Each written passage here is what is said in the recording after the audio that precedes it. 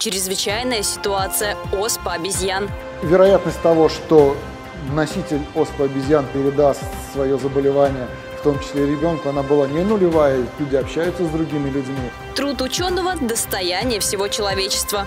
Знание – сила.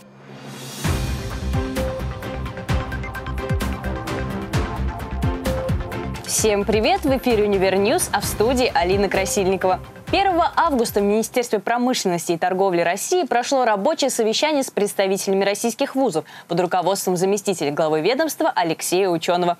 Мероприятие прошло в смешанном формате. В совещании принял участие исполняющий обязанности ректора Казанского федерального университета Дмитрий Таюрский. Обсуждался вопрос, касающийся модернизации системы подготовки высококвалифицированных кадров для отечественной промышленности в рамках основных направлений экономической политики Российской Федерации. Заместитель министра промышленности и торговли торговли Российской Федерации Алексей Ученов обратился к представителям высшей школы с просьбой подготовить перечень предложений по данному вопросу. Самые эффективные решения ведомство готово рассмотреть и оказать вузам всяческую поддержку в реализации. В Калифорнии ввели режим чрезвычайной ситуации из-за вспышки оспы обезьян. Ждет ли это Россия, узнаете далее в сюжете. Губернатор Калифорнии Гэвин Ньюсом объявил режим чрезвычайной ситуации в штате Калифорния из-за вспышки оспы обезьян. Штат уже получил более 61 тысячи доз вакцины от оспы, но этого оказалось недостаточно. Поэтому власти пообещали сотрудничать с федеральным правительством, чтобы обеспечить доступ к большему количеству доз. Стоит отметить, что вирус начал набирать популярность на мировой арене в мае 2022 года. Так и в России появились первые случаи заражений. Чаще всего это были люди, вернувшиеся из поездки по странам Европы и обратившиеся обратившийся в медицинское учреждение с характерными симптомами. На самом деле название оспа обезьян не очень удачное, потому что в первую очередь это вирус грызунов. И уже и человек, и обезьяны заражаются от разнообразных грызунов. И он сейчас вот проходит период адаптации к человеку и, собственно говоря, переносится с одного человека уже на другого. То есть тут в данном случае грызун как объект перенос этого вируса из живой природы к человеку уже и не нужен, этот вирус уже между людьми распространяется, но, к счастью, не очень хорошо.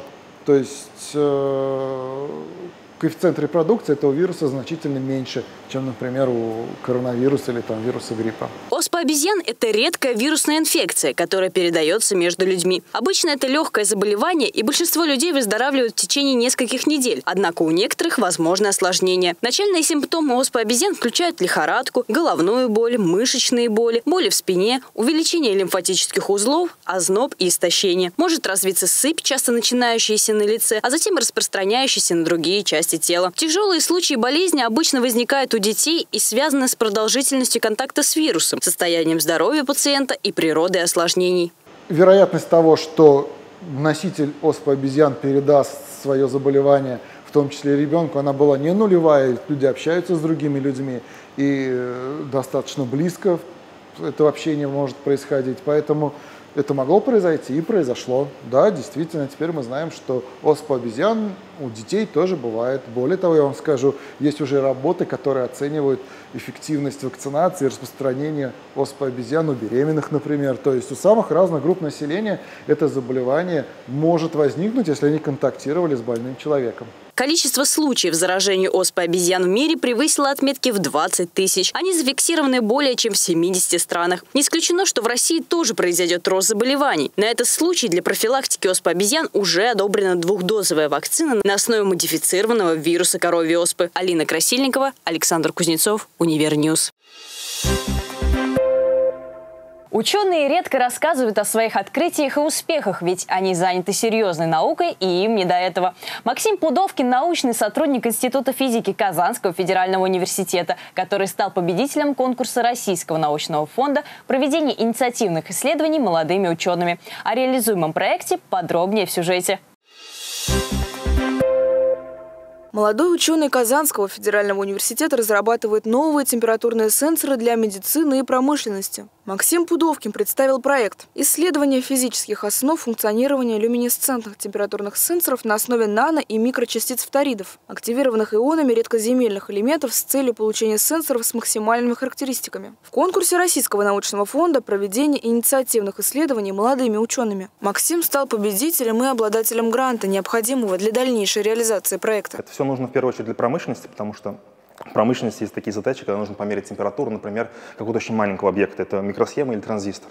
Тогда, соответственно, никаким градусом нельзя а, произвести измерения, нужны какие-то нетрадиционные методы. Например, наночастица в контакте, у которой сигнал флуоресценции, например, цвет ее зависит от температуры. И таким образом, применяя микроскопы, применяя эти технологии, можно контролировать температуру в таком маленьком пространстве. По словам старшего научного сотрудника, для широкого класса задач, промышленных установок и медицинских целей достаточно использовать традиционные методы измерения температуры с применением применением ртутных или спиртовых термометров, термопар и тепловизоров. Однако в науке и промышленности существует ряд сложных задач, связанных с измерением температуры, например, очень маленьких объектов. Также актуальны задачи неинвазивного измерения температуры и визуализации температурных полей с высоким пространственным разрешением. Для таких целей и актуально применение люминесцентных температурных сенсоров. Сейчас, по сути, мы будем смотреть, что такое люминесценция с помощью вот нашего лазера. То есть это, в принципе, очень уникальная установка. Она способна генерить э, в ультрафиолете, в видимом диапазоне, в инфракрасном диапазоне. Это очень такая многогранная вещь. А, здесь наш кристалл находится, если, может кто-то слышал, есть такое литий И3 фтор-4 и два иона активатора, это диспрозий и тербий. И он светится под действием а, ультрафиолет излучения. То есть видно, что мы не видим ультрафиолет глазом, но так как он попадает на кристалл и он его переизлучает люминесценцию, вот мы видим интересное такое свечение как раз. И его можно визуализировать. То есть, по большому счету, ученому этот цвет ничего не говорит. Это просто красивая картинка. Но если мы возьмем, поднесем световод, и у нас в пачке со спектрометром, ну и с монитором, то можем увидеть, а, как вот здесь на мониторе появляется картинка. А, вот полусолюминесценция, а, интенсивность от длины волны.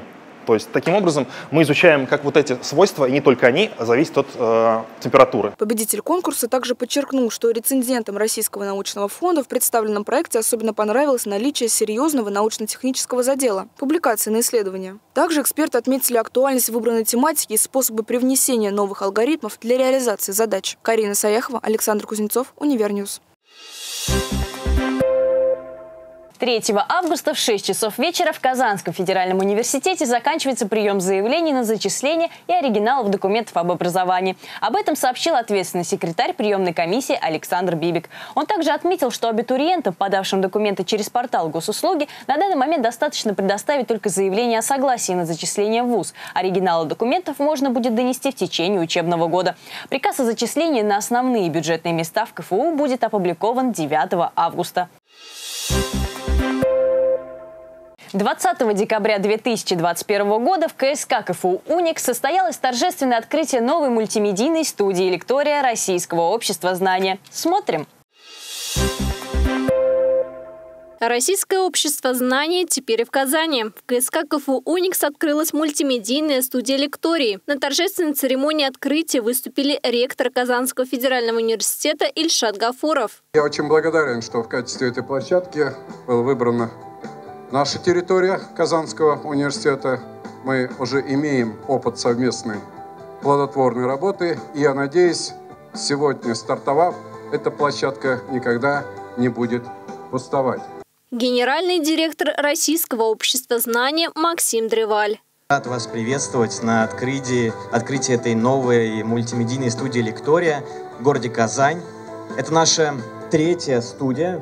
В Москве открылась летом – Совсем недавно мы открыли двери нашей студии в Сочи, и я очень рад, что в числе первых открывается студия в Казани. Заместитель министра по делам молодежи Республики Татарстан Софья Мустафина и другие приглашенные лица. Я вас поздравляю, желаю вам больших успехов, желаю вам участия здесь на постоянной основе и не только в качестве слушателя, но еще и в качестве в дальнейшем, я надеюсь, в качестве лектора. Пользуясь случаем, генеральный директор Российского общества знаний вручил ректору Казанского университета диплом. Далее участники перерезали торжественную ленточку в честь открытия новой студии. Студия лектории начала свою работу с просветительского мероприятия «Марафон открытий», в рамках которого состоялись три панельные дискуссии.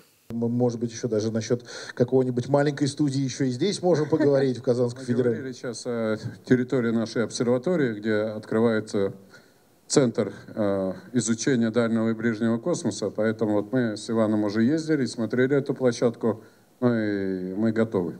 Спикеры также поделились успешными кейсами запуском IT-стартапов. Поговорили об инновациях в сфере образования. Вот эти студии, которые мы создаем по всей стране, студии лектории, мультимедийные центры, это способ как раз-таки, а, с одной стороны, сделать э, более доступным знания на местах в каждом уголке нашей страны, с другой стороны, дотянуться до самых интересных, выдающихся лекторов и дать им некий такой социальный лифт, трамплин на федеральный масштаб. Наш университет, он и по своему, по своей миссии, он должен заниматься, кроме науки, образованием, в том числе и просветительством. Причем эта функция заложена с самого начала, до основания университета в 1804 году еще. Казань уже в третий раз становится площадкой для просветительских мероприятий общества знания. Ранее трансляции майских и сентябрьских марафонов нового знания набрали более 200 миллионов просмотров. Елизавета Никитина, Фарид Захитоглы, Univer News. Представители кафедры природообустройства и водопользования Института управления экономики и финансов Казанского федерального университета приняли участие в экспедиции «Плавучий университет Волжского бассейна-2022». Рейс продолжительностью 9 дней проходил в этом году по маршруту Нижний Новгород-Казань. За это время судно «Петр Андрианов» преодолело 850 километров, маломерные суда – более 350 километров. По словам Нафисы Мингадзевой, в этом году представители КФУ сосредоточили свои исследования на изучении изучении двух участков Волги. Один из них расположен в районе острова Града Свияжск, а второй в районе Казани. Проект «Плавучий университет Волжского бассейна» учрежден в 2015 году с целью мониторинга экологического состояния Волги. С 2016 года он реализуется при грантовой поддержке Русского географического общества. Собранные данные помогут ученым выявить и описать закономерности в постоянно меняющейся экосистеме Волги. На этом все. В студии была Алина Красильникова. Сюжеты из выпуска ты сможешь найти в наших социальных сетях, а также на сайте телеканала. До новых встреч!